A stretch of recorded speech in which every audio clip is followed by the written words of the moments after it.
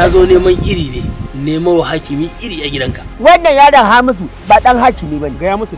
Ka dinga jan mutuncin ka mana. Ina kai ina wannan zance wai na hauma hauma da dan shi ne fa. Me garin ya ce na san ki ce a'a. Me ya rasa?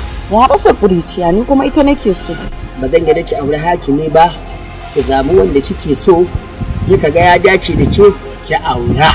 Ita fa soyayya da mun haka ta kada kuma ba a kaina za a kare ba kuma ba a kaina za a je amma ni a kanta komai sai dai in zai faru da ni ya faru. Baka san irin yadda nake ji ba.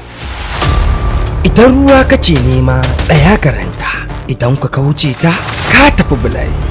Dabarun zuciyoyinsu sun kasu gida biyu. Masu kulabuci masu buƙata ta musamman. Cakwakiya da badakala tana gudana cikin wannan shiri. Mai zuwar muku da taken lamba kamar haka. Birnin buƙata. Birni da buƙata kowa da buƙata ta sa. Birni da buƙata kowa da lalura ta sa. Birni da buƙata kowa da abin da yake so. Birni da buƙata labari da shiryawa awwal uba kwakwatawa daga kamfanin auk entertainment. Ni ba na so a yi wannan lamari a zo a yi ta tashin hankali a gidan mai martaba ana ta kaga ba daɗi. Wato saboda ni tun da muke da ni da kai da jajayen sawu ɗauko nan mai kotan ajiye can ɗin bai kashe ni ba. Daga ce kin ga bunki mai rai. Kaga wannan rai wallahi ba da shi ba da sai na yi kiya. Ranka daɗe ce a tsame hiya bushe a yasas. Inda wani a ciki ba. A hakan ku za a yi. Ai kamata yadda kika tare ni mun godiya. Ita ma sai ki tare take ce ta fita daga harkar mijinki. Ina ganin zai fi.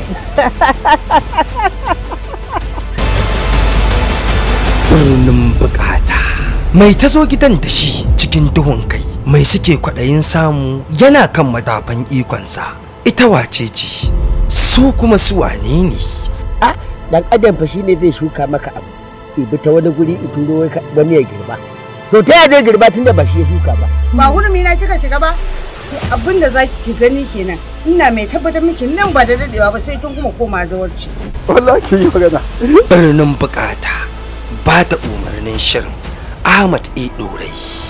Za ku kalle ta kan manhajar youtube channel mai suna rabin jini hausa tv